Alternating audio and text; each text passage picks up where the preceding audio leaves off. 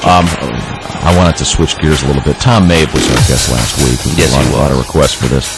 He uh, has a little stunt that he does. He leaves a tape recorder by his phone, and when the phone rings, he hits the button. And if it's a telemarketer, he records the call. Puts him on a little bit. And I, I thought we'd give this one a listen. Hello? Yes, can I speak with Tom Mabe? Who's calling? Well, this is Mike with You've been selected to receive a complete digital satellite system for free.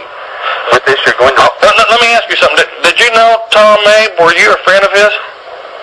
No, I'm not. I'm just calling to... Uh, Hold, hold, hold, on, hold that thought. Hold on one second, all right? Hey, guys, get really good pictures of the body. Yeah, and dust everything down for prints. Mike, you there? Yeah. Let me bring you up to speed. You've actually called a murder scene. Uh, Mr. Mabe is no longer with us. I'm Officer Clark. I'm, I'm conducting a homicide investigation. Uh, I want to ask you a series of questions. Uh, first of all, what was the nature of the business you had with uh, Tom Mabe?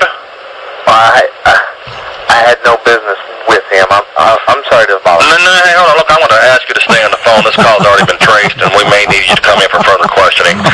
So, you, don't understand. I'm just calling on... no, no, look, you don't understand. Unless you want to be charged with obstruction of justice, it's imperative you keep your ass on the phone, Mike.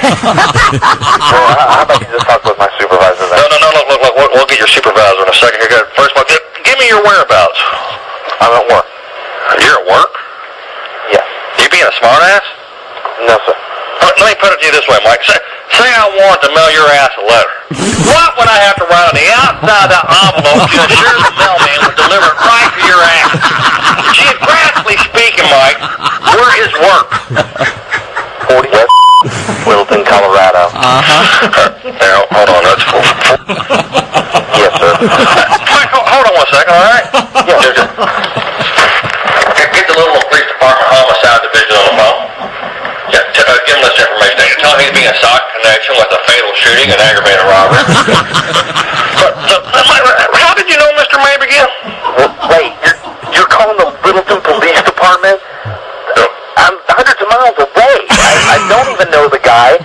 I'm I'm in Colorado. No, don't, don't let that scare you. That's just a formality. I mean, have you been to his place of residence? No, All right, tell, tell me again, Mike, where were you last night between the hours of 8 and 10? I'm not feeling real comfortable about any of this.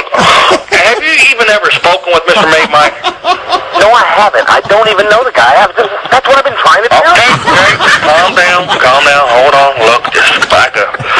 I got one more question for you, Mike. Uh-huh. As you well know, I'm sure, Mr. Mabe was a flaming homosexual. And there's no easy way of asking that. I don't want to embarrass you or nothing, but were you his gay lover? What? No. What? What the hell kind of a question? Look, look, look, look, look. If gays your way, that's okay. I still know there's a lot of you gay people in the closet. I'm not saying I haven't thought about myself. You know, say I was in Las Vegas or something, buy a couple drinks, cute little Mexican midget.